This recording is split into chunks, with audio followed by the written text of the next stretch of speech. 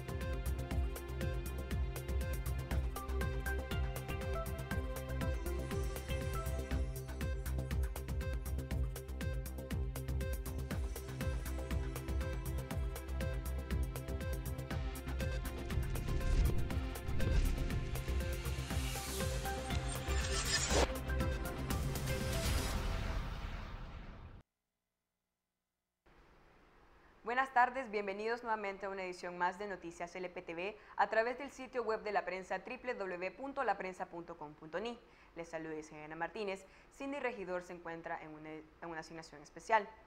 Damos de inicio inmediatamente con las informaciones para este 20 de noviembre, no sin antes recordarles que nos siguen en nuestras redes sociales. Estamos en Facebook como La Prensa Nicaragua y como Noticias LPTV, en Twitter como arroba la prensa y en YouTube como La Prensa Nicaragua 1.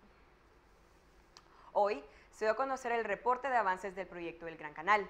Aquí el vocero y el secretario de la Comisión del Gran Canal Interoceánico dieron las fechas para la construcción del Gran Canal Interoceánico. Sin embargo, parece que se ve una confusión en, en estos datos. Pese a que el secretario de la Comisión del Gran Canal Interoceánico anunció este jueves que la construcción de esta mega obra daría inicio el 22 de diciembre, el vocero de la misma comisión pareció desinformado dando otra fecha. En diciembre habrán los estudios de, factibilidad presentados en cuanto a avances y el 22 de diciembre de 2014 se inicia la construcción. La construcción, como todos sabemos, será de un periodo de cinco años finalizando en diciembre 2019. El 24 de diciembre inicia la construcción de este canal es un, eh, un gran saludo. Eh, nos, este es un pueblo cristiano y qué bueno pues que nazca una obra para el bienestar de Nicaragua en la fecha de nacimiento del Niño Jesús. Así se informó durante el reporte Avance del proyecto del Gran Canal Interoceánico presentado desde tempranas horas de este jueves. Su Saoya, que es el representante de Wanjin, que es el presidente de la Comisión de HKND, dijo hoy que hace falta brindar mayor información hacia las familias que se van a ver afectados a lo largo del proceso de la construcción del Gran Canal Interoceánico. Hoy publicamos los resultados de fase de los estudios de ingeniería. En el último periodo de tiempo, 社会上存在着一些不同的声音， 有质疑，甚至有反对，我们对此表示理解。han surgido algunas voces que arrojan dudas e incluso que han mostrado su oposición en la sociedad y queremos expresar nuestra comprensión. 我们相信，随着更多信息的披露，社会上关于运河项目的种种谣言将不攻自破。Pero creemos que con la divulgación de más información relacionada, aquellos rumores sobre el proyecto solo serán contraproducentes. Vamos a seguir estrictamente el plan de construcción del canal. Estamos plenamente preparados para desarrollar sólidamente nuestro trabajo, para controlar hasta lo mínimo el impacto sobre la sociedad y el medio ambiente. 把尼加拉瓜大运河建设成为一座尼加拉瓜人民安居乐业的丰碑，一条东西横跨两大洋的黄金水道。 De manera que construyamos el Gran Canal de Nicaragua como un monumento de bienestar para los y las nicaragüenses y como una vía navegable de oro que conectará el oeste y el este, los dos océanos. Hoy, el presidente de la Comisión de Turismo de la Asamblea Nacional, Pedro Joaquín Chamorro, anunció que cuatro proyectos portuarios están siendo ejecutados en el Pacífico de Nicaragua. Cuatro proyectos portuarios están siendo ejecutados en el Pacífico de Nicaragua, con el objetivo de desarrollar la actividad turística. La inversión es de aproximadamente 20 millones de dólares, que serán repartidos en los puertos de San Juan del Sur, San Jorge Momotombo y la ampliación del puerto Salvador Allende. Eh, y la ampliación también del puerto de San Juan del Sur para recibir eh, este, turismo de, de crucero. Eh, actualmente tiene capacidad únicamente para recibir una lancha tender y el plan contempla que pueda recibir hasta seis lanchas. también el desarrollo de diferentes infraestructuras turísticas en el área del puerto de San Juan del Sur. Sí, tenemos un proyecto en la Isla del Amor de un conjuntito recreacional también con cabañas y restaurantes y un lugar de, de talleres para seminarios, reuniones de carácter empresarial. Con información de Leonor Álvarez, este es un reporte para la Prensa TV. Es momento de hacer nuestra primera pausa comercial. Quédese con nosotros.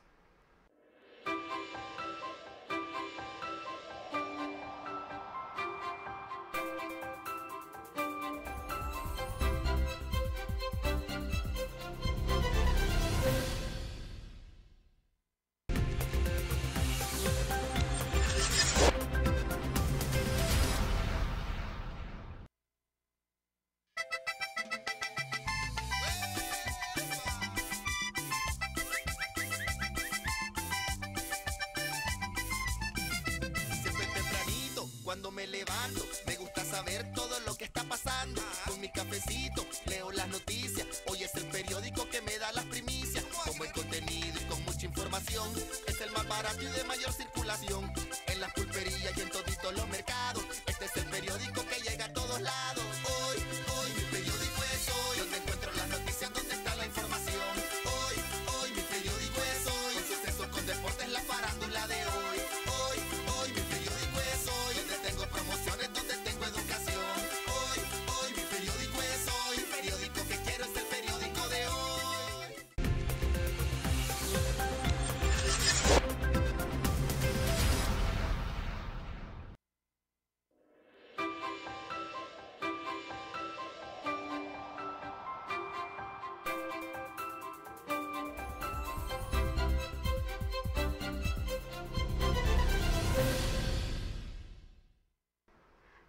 seguir informándose con nosotros. En otras informaciones, el ministro de Hacienda y Crédito Público, Iván Acosta, anunció que a partir de mañana, a las 8 de la mañana, el Estado comenzará a pagar el aguinaldo a todos sus trabajadores.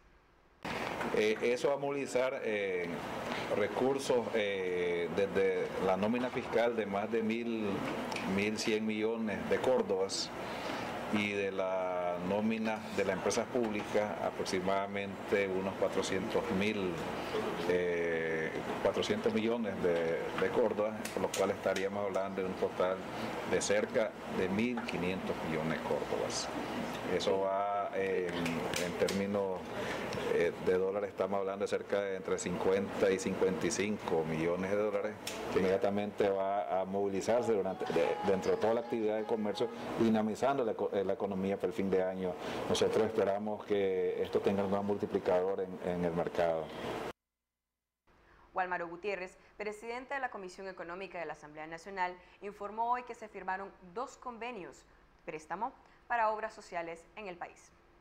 trasladar 9.4 millones de dólares para el financiamiento de la carretera San Juan de Río Coco Las Cruces, que va a ser plenamente adoquinada. Ahí es un potencial productivo especialmente de café y ganado y por otro lado son hermanas y hermanos nicaragüenses que por la distancia la verdad es que ha sido poco el avance que hemos hecho en cuanto a tema de infraestructura. 9.4 millones de dólares es el, total, pero para este año el primer desembolso sería por 50 millones. Pero además le tengo otra buena noticia a, pobladores de Chinandega. Ya nosotros hemos aprobado el convenio internacional por 30 millones de dólares para la construcción del nuevo hospital en Chinandega. Luego de varias consultas al proyecto anual del Presupuesto General de la República 2015, este fue finalmente dictaminado. El presidente de la Comisión de Economía de la Asamblea Nacional, Walmaro Gutiérrez, informó que el proyecto de la Ley Anual del Presupuesto General de la República 2015 ya fue dictaminado. Nosotros no podemos crecer más allá de lo que el 4.5% de crecimiento de la economía nacional nos permite. Por lo tanto, el presupuesto general de la República como tal fue dictaminado esta, la mañana de hoy eh, con un voto favorable de la mayoría de diputados de la Comisión Económica y también los diputados de la bancada del PLI firmaron el dictamen con un voto razonado, el cual van a explicar sus planteamientos por los cuales se oponen a elementos consustanciales. Mira, en primer lugar tenemos preocupación por el, déficit que es 1.8 sobre el PIB. Eh, pero más que sobre el déficit en sí, hay una preocupación por de dónde se está financiando.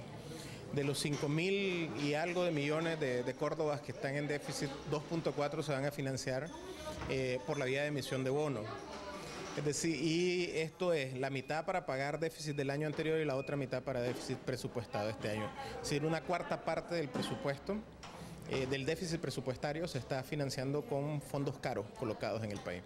Se espera que dicha ley se apruebe en lo general en la próxima semana y, de ser posible, se comience la aprobación de artículo por artículo. Es momento de hacer otra pausa comercial, pero sigue en sintonía con nosotros.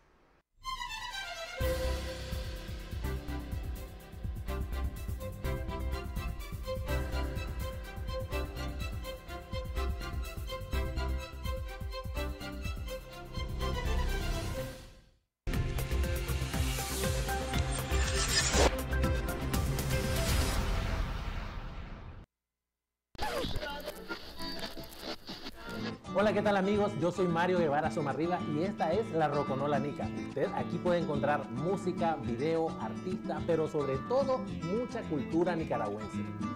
Todos los viernes a las 8 y 30 de la mañana en www.laprensa.com.ni.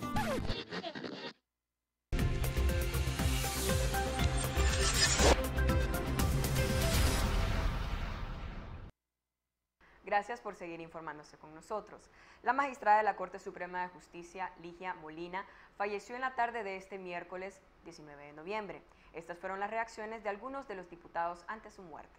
La magistrada de la Corte Suprema de Justicia, Ligia Molina Arguello, falleció de un infarto en el Hospital Metropolitano Vivian Pelas la tarde de este 20 de noviembre. Molina Arguello estuvo por la mañana en la Asamblea Nacional con los diputados miembros de la Comisión de Justicia para estar presentes en el dictamen del nuevo Código Procesal Civil, que ya está listo para su aprobación. Posteriormente se sintió mal y fue llevada al hospital. Estas son las reacciones de los diputados ante la muerte de Molina. Lamentamos profundamente y de la muerte somos y siempre sabemos que es lo único seguro que tenemos, que algún día nos vamos. ¿Cuál es el principal legado que deja? Bueno, yo creo que una carrera profesional muy transparente, muy seria, de gran capacidad. Anoche, temprana, a tempranas horas nos dimos cuenta de su deceso, deceso que lamentamos, porque creo que dentro de ese esquema, ese cuadro de jurista que en la Corte Suprema era de lo más rescatable. Sí, vio en su trabajando y eso pues hay que recapacitar un poco, eh, dedicarnos un poco de tiempo, mejorar nuestra salud para evitar esta sorpresa. Desde hace más de un mes iniciaron las obras de construcción del paso desnivel en Rubenia. ¿Qué tan avanzado está? Siga con nosotros. Desde que iniciaron los trabajos para levantar el paso a desnivel en la intersección de Rubenia a mediados de octubre, se ha avanzado un 12% respecto a las obras horizontales. En esta etapa de la obra, los obreros de la alcaldía de Managua trabajan en detectar la tubería existente de aguas negras y potables y reemplazarlas por nuevas. Una vez finalizada esta tarea, se construirá una rotonda donde antes estaban los semáforos y luego se pasará a la fase del puente, que corresponde a las obras verticales que ejecutará una empresa privada. Con información de Roy Moncada, este es un reporte para la Prensa TV. El presidente de la Comisión de Turismo de la Asamblea Nacional, Pedro Joaquín Chamorro, anunció hoy que la ley del Buró de Convenciones de Nicaragua fue dictaminado de manera unánime.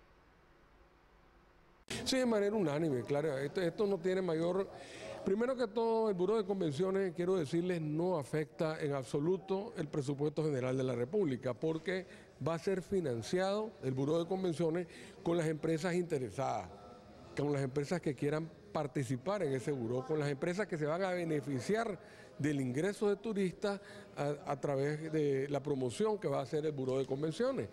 Eh, quedó que va a ser presidida por el INTUR y con nueve miembros que van a ser electos entre los miembros del Buró de Convenciones.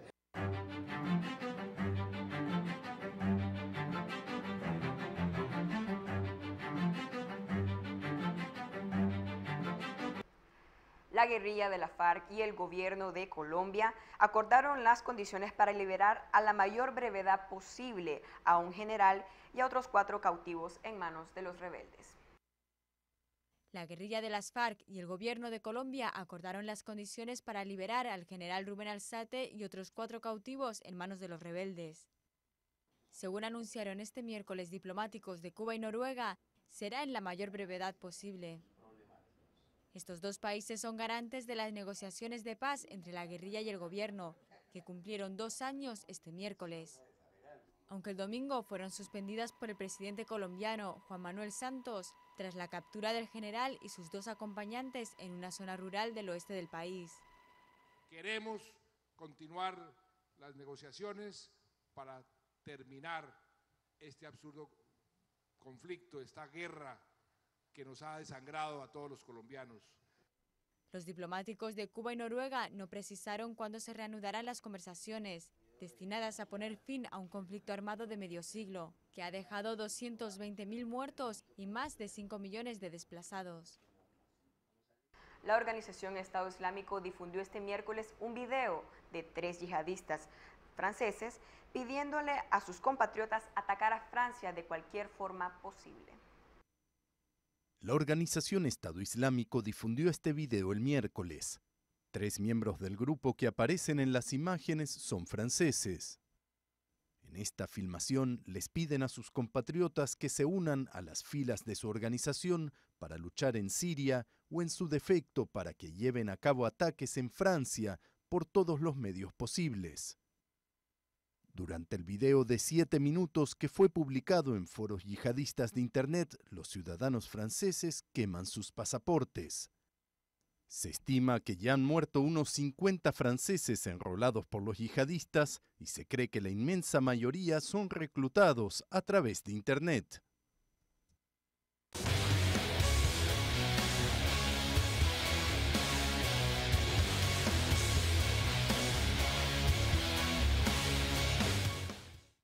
El tenista Roger Federer entrenó este jueves con el equipo suizo, aunque su participación en la final de la Copa Davis contra Francia sigue siendo un misterio por la lesión que tuvo en su espalda.